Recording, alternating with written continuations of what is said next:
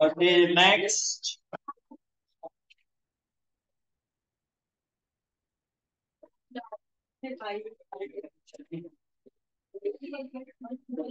इसमें अकाउंट बनेगा जो है। भी बैलेंस है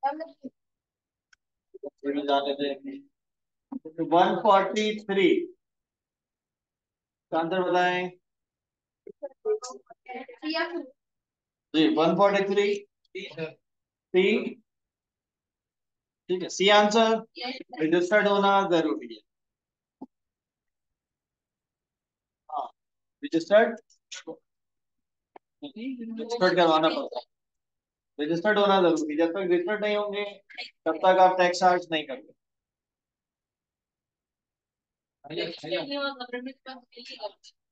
करेगा नहीं वो। जब रजिस्टर्ड होते हैं तो आपको एक रजिस्ट्रेशन नंबर मिलता है। और नंबर आपके हर बिल पे इनवॉइस प्रिंट होता है। अगर प्रिंट नहीं है तो आप टैक्स देने वाला देगा भी नहीं ना। अगर वो चार्ज करे तो भी अपना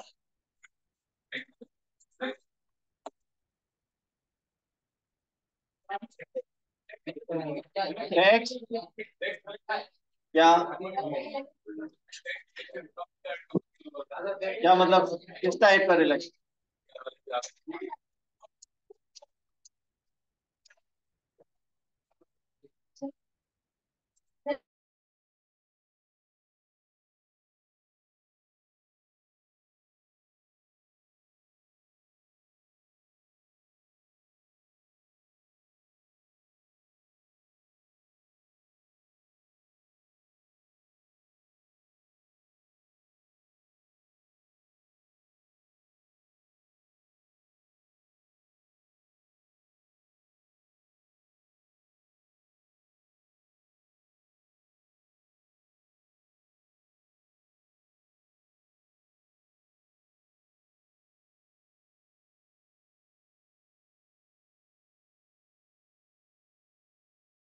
वो नहीं लेते वो डायरेक्ट कंपनी लेती है ना। क्योंकि वो जो प्रोडक्ट उनके पास होती है, उस पर लिखा होता है सेल्स टैक्स ऐड होता है ना।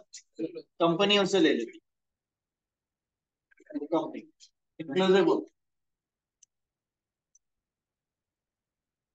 ये हो गया पहले डेबुट वाले में कर लिए। अच्छा ये एक टॉपिक बता दूँ। ये क्वेश्चन है what is the purpose of aged receivable analysis और इसी में एक होता है एज्ड पेबल एनालिसिस तो ये दोनों टॉपिक आपके कोर्स में थे अब आपके कोर्स में नहीं है। तो ये किट पुरानी है तो ये क्वेश्चन इसमें आ रहा है नई किट में नहीं होगा। एजिंग एनालिसिस भी कहते हैं इसको एज रिसीवेबल एनालिसिस भी कहा जाता है। अब ये टॉपिक्स आपके कोर्स में नहीं है लेकिन आपकी जो बुक्स हैं उनमें होगा क्योंकि आपके पास वो पुरानी होंगी। हाँ ये क्वेश्चन नहीं करेंगे आप ठीक? ठीक कभी जो आप लोगों ने बुक्स ली होंगी उसमें बुक्स पुरानी है टाइटल उन्होंने नए लगाए। हाँ कि ये इरिकवरेबल है ये भी पढ़ेंगे आगे।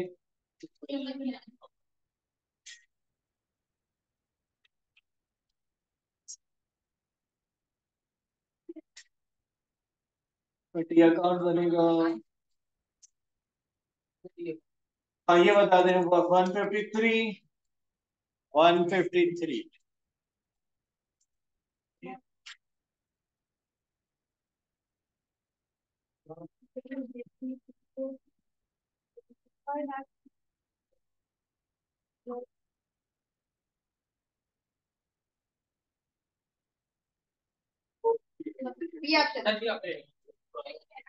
इसमें ग्रॉस वैल्यू बतानी है।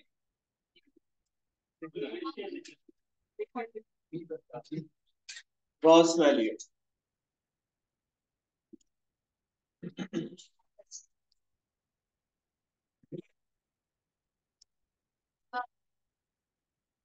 पहले ट्रेड डिस्काउंट माइनस करेंगे उसके बाद सेल्स टैक्स ऐड कर लेंगे। आंसर क्या आ रहा है? B sixteen eighty seven hundred से तो लिस्ट प्राइस है इसमें टैक्स इंक्लूड थोड़ी है। जी बी आंसर पहले फाइव परसेंट माइनस करें तो माइनस करके जो आएगा उसका ट्वेंटी परसेंट निकाल के ऐड करें। ये भी मैंने हाँ ये करवाए थे ना क्वेश्चन ऊपर। जब हमने कैलकुलेशन की थी ना, ऊपर ये वाले देखें best price minus trade discount eight amount आ जाएगा। प्लस टैक्स अमाउंट वही कर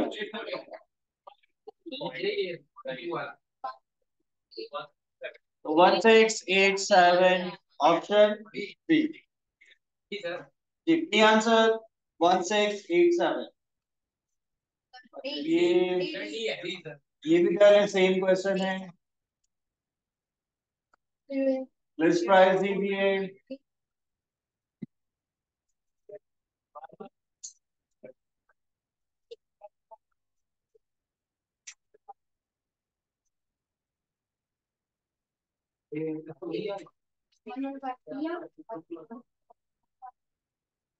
one fifty four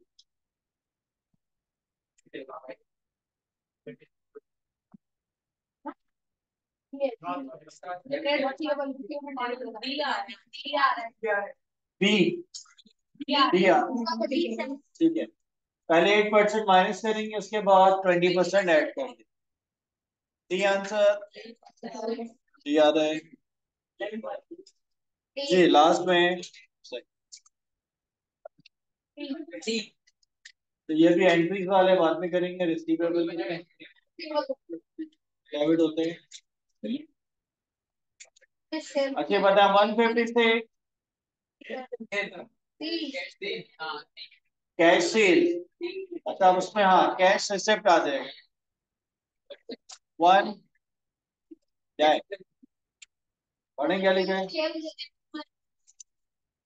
cash sales कहाँ रिकॉर्ड होती है? अब इसमें दो दिए हुए हैं। सी होगा तो उसका टैक्स भी कहाँ रिकॉर्ड होगा? वहीं पे। जो ट्रांजेक्शन जहाँ रिकॉर्ड होगी उसका टैक्स भी वहीं रिकॉर्ड होगा। क्या होता? क्या सेल्स क्रेडिट सेल होता तो सेल्स ए आंसर होता। ये तो पेमेंट बुक आता है। पेमेंट कहाँ आती है? कैश बुक में। पेमेंट बुक दी हो जाता है। और ये करें वन फिफ्टी सेवन ठीक है ये तो हम कर चुके हैं पहले। जब इसके आ जाए परचेज एंड परचेज रिटर्न इसमें भी सेम है जब ये बता वन फिफ्टी एट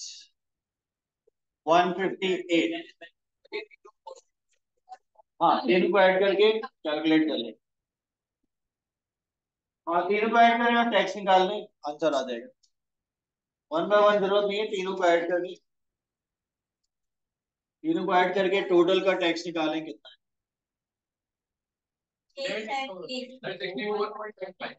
अच्छा इस पे ये लिखा हुआ है ग्रॉस फिगर ग्रॉस यानी कि इंक्लूसिव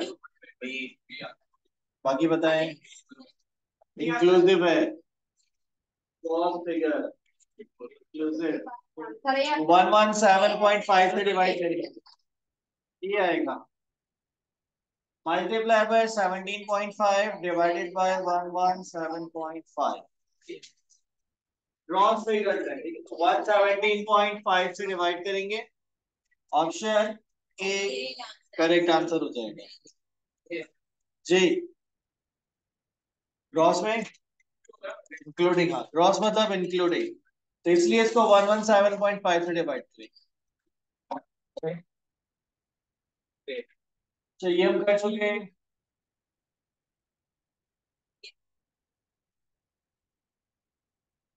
ये एंट्री का क्वेश्चन है। एंट्रीज हैं। लेजर अकाउंट ये कर चुके हैं पहले ये वाला तो। नहीं है। मतलब debit to W I purchase account debit पूछ रहे हैं ना कितने से आपको पता है? नहीं करना करना वही आंसर है जो लिखा हुआ है। आंसर ये होगा। करवाऊँगा अभी करवाऊँगा आंसर यही है। ये तो फिर एंट्रीज में समझाऊँगा फिर एंट्रीज बनाएँगे।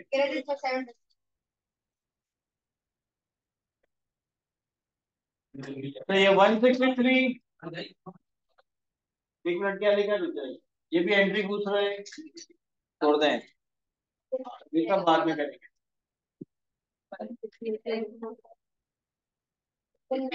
ये कर लेते one sixty four sale purchase भी नहीं है बैलेंस मिल। है तो वही करेंगे output tax minus input tax answer आ जाएगा।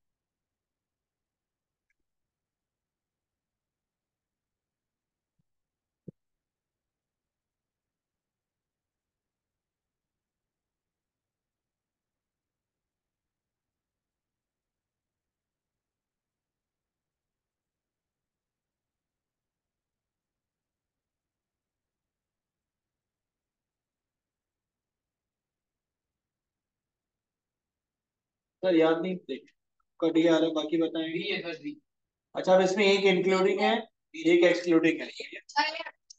याद है। सेल्स इंक्लूडिंग है परचेज एक्सक्लूडिंग है। ये। हम्म।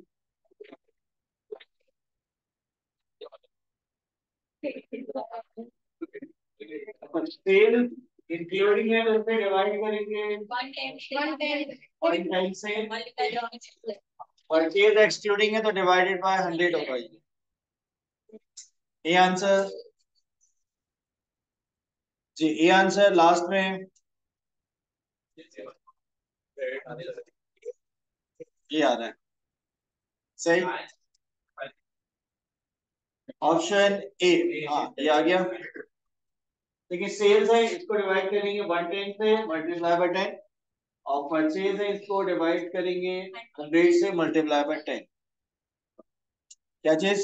पेन कहाँ से भाई ये लिखना पड़ेगा। हाँ वो नीचे लिखा गया सेल्स टैक्स यहाँ पर टेन परसेंट है। ये आ रहा है? और ये पेबल होगा? रिफंडेबल पॉजिटिव है नेगेटिव पॉजिटिव आ रहा है तो हाँ ये आंसर हो जाएगा पेबल क्रेडिट बैलेंस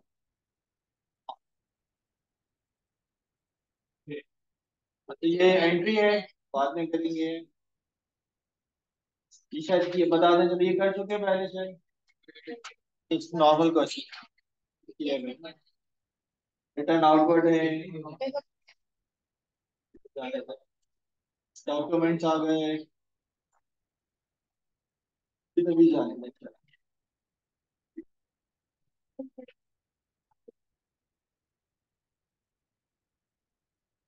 एक वक्त है, ये वाले पेबल अकाउंट बनेंगे इसमें। ये किए पहले नहीं वाले? बहुत आगे जाकर ये तो वो खत्म ही हो गया था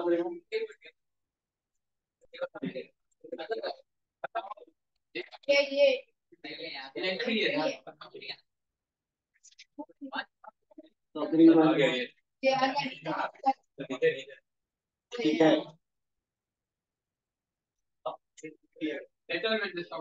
डिस्काउंट वाले हैं ये बता दें वन नाइनटी वन तो फिर आ गया वही cash payment cash purchase C answer हाँ ये हो गए। अभी टॉपिक कंप्लीट थोड़ी हुआ है। ये तो सिर्फ़ कैलकुलेशन थे। ठीक है, अब हम बनाएँगे इसकी एंट्रीज और सी अकाउंट छुट्टी नहीं है।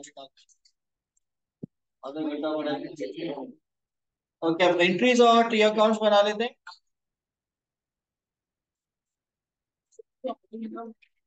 आधा घंटा हाँ आज स्लो हो गया टाइम अच्छा अब इसके पहले एंट्रीज बना लेते हैं। जर्नल एंट्रीज उसके बाद टी अकाउंट उसके बाद छुट्टी। ओके सेल्स रिकॉर्ड करते हैं।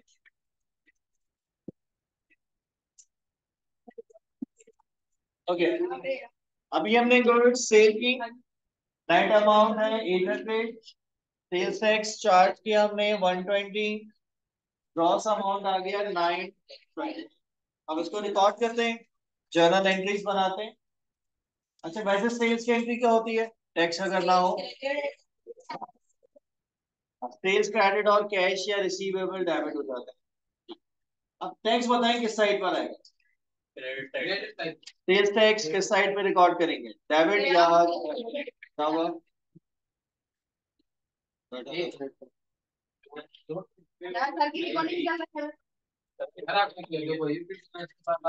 अच्छा ये हमने एट हंड्रेड की गुड सेल की वन ट्वेंटी टैक्स चार्ज किया ग्रॉस अमाउंट नाइन ट्वेंटी। अच्छा कैश रिसीव कितना होगा? नाइन ट्वेंटी तो हमें कैश मिलेगा ना। तो कैश या रिसीवेबल तो डेबिट हो जाएगा नाइन ट्वेंटी से। अच्छा अब इस नाइन ट्वेंटी में हमारी इनकम कितनी है? एट हंड्रेड इनकम है। तो सेल्स हम क्रेडिट करेंगे एट हंड्रेड। अच्छा ये जो वन ट्वेंटी हमने टैक्स रिसीव किया, ये हमारे लिए क्या है? लाइबिलिटी है। पेबल तो ये आउटपुट टैक्स है। ठीक है तो आउटपुट टैक्स की नेचर क्या है? पेबल होता है लाइबिलिटी तो ये क्रेडिट का इसलिए क्रेडिट होता है। टोटल हमने कैश रिसीव किया? 920 इस 920 में हमारी इनकम है 800 और 120 हमारी लाइबिलिटी है। जो हमने टैक्स चार्ज किया, वो हमें गवर्नमेंट को पे करना है। इसलिए सेल्स टैक्स क्रेडिट यहाँ तो हम बिजनेसमैन के पॉइंट ऑफ़ व्यू से बात करते हैं। इस वक्त हम कौन है? बिज़नेस बिजनेसमैन हम सेल करते हैं। हाँ जो हमारे कस्टमर उसके लिए वो एक्सपेंस है। ये लिख लें एंट्री रिकवरेबल तो लिखवाया था ना एज ए बिज़नेस मैन बात कर रहे हैं, आप परचेज कर रहे हैं, उस पर जो पे करें। नेक्स्ट सेल्स रिटर्न आप सेल्स रिटर्न रिकॉर्ड करते हैं? ओके जब हमने 800 की गुड सेल की थी, जिसमें से 200 की सेल्स रिटर्न हो गई। और 200 का टैक्स कितना बनेगा 30 क्रॉस अमाउंट बन गया टू थर्टी तब सेल्स रिटर्न की एंट्री क्या होती है? सेल्स रिटर्न डेबिट और कैश या रिसीवेबल अच्छा सेल्स टैक्स किस साइड पर आएगा? डेबिट पे आएगा। क्यों? लाइबिलिटी कम लाइबिलिटी कम हो जाएगी। सेल्स रिटर्न एक्सपेंस नहीं होता इनकम कम होती है। सेल्स करते हैं इनकम इंक्रीज होगी। सेल्स रिटर्न हो गई तो इनकम डिक्रीज होगी। देखिए आपने सेल कितनी की थी? एट हंड्रेड की, अब टू हंड्रेड की रिटर्न हो गई तो आपकी इनकम कितनी रह गई? सिक्स हंड्रेड रह जाएगी ना। तो रिटर्न एक्सपेंस नहीं होता इनकम कम होती है। अच्छा देखिए, अब हमने सेल्स के टाइम पर एक्स चार्ज कितना किया था? 120 तो यहाँ पर लाइबिलिटी थी कि हमें गवर्नमेंट को 120 पे करनी है। अच्छा रिटर्न के टाइम पर क्या होगा? हम कस्टमर को कैश कितना वापस करेंगे टू थर्टी देंगे ना। अब इस टू थर्टी में थर्टी टैक्स भी चला गया। अब हमें गवर्नमेंट को कितना टैक्स पे करना होगा? नाइन्टी रह जाएगा ना।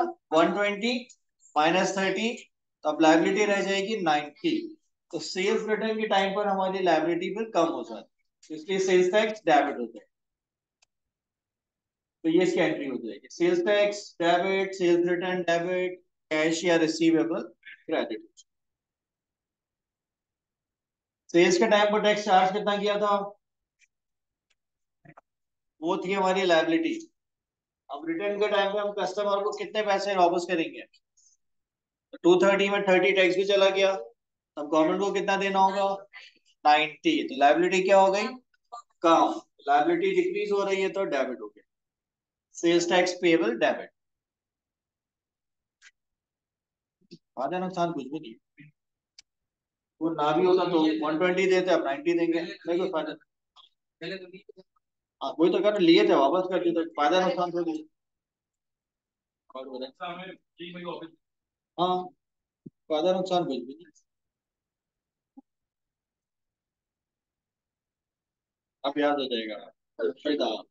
अच्छा। नेक्स्ट परचेज रिकॉर्ड करते हैं।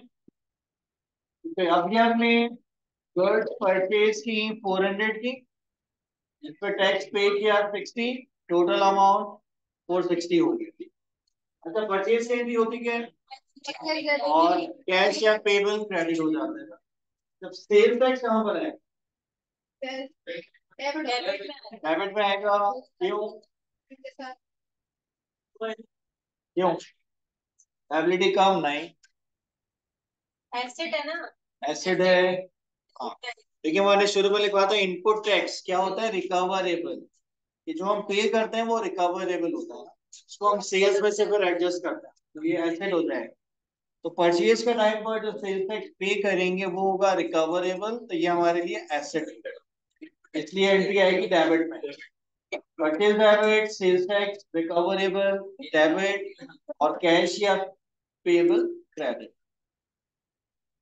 परचेज के टाइम पर जो टैक्स पे होगा वो रिकवरेबल होता है तो उसकी नेचर होगी एसेट हम कौन हम अभी बिजनेसमैन बात कर रहे हैं as a business as a consumer तो वो एक्सपेंस बन जाएगा. तो एज अ कंज्यूमर आप बात करेंगे तो एक्सपेंस यहाँ बात हो रही है एज अ बिजनेसमैन अच्छा यहाँ एक पॉइंट क्या लिखा हुआ buyer registered for sales tax जो हम एज अ बायर रजिस्टर्ड है तो एंट्री और अगर एज अ बायर हम बात करें अगर रजिस्टर्ड नहीं है तो उसमें एंट्री चेंज होगी उसके बाद में आपको लिखवाऊँगा। हाँ परचेज रिटर्न के बाद अब पहले हम परचेज रिटर्न रिकॉर्ड करते हैं। अब परचेज रिटर्न की एंट्री होगी accounts payable debit purchase return और सेल्स टैक्स क्रेडिट एसेट कम हो जाएगा। क्योंकि जब हम रिटर्न करेंगे तो सप्लायर से हमें फिफ्टी रिसीव हो जाएँगे तो रिकवरेबल कम हो जाएँगे.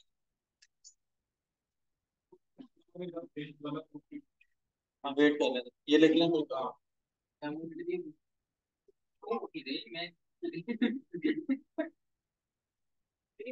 ओके अच्छा परचेज की जो एंट्रीज बनाई, ये हमने बनाई अ रजिस्टर्ड बायर अब अगर हम रजिस्टर्ड नहीं है तो फिर क्या एंट्रीज होंगी? अच्छा एक मिनट पहले ये लिख लेते चले पहले हाँ ये कंट्री पेमेंट ऑफ़ सेल्स है उसके बाद फिर लिख लें। अब हमने गुड सेल की परचेज की रिटर्न हुई मंथ एंड हुआ मंथ एंड पे हमने कोई फॉर्मूला अप्लाई किया output tax minus input tax answer आया टैक्स पेबल अब हम गवर्नमेंट को टैक्स पे कर रहे हैं। पेमेंट के टाइम पर हम क्या एंट्री बनाएँगे? कैश या बैंक तो क्रेडिट हो जाएगा। और डेबिट क्या होगा?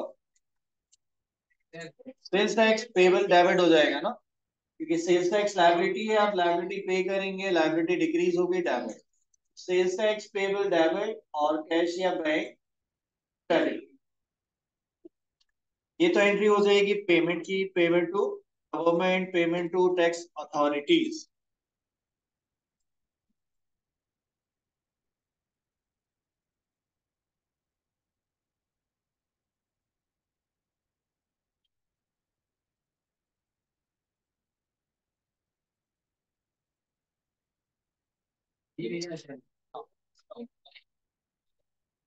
अच्छा ये तो एंट्री हो गई पेमेंट की।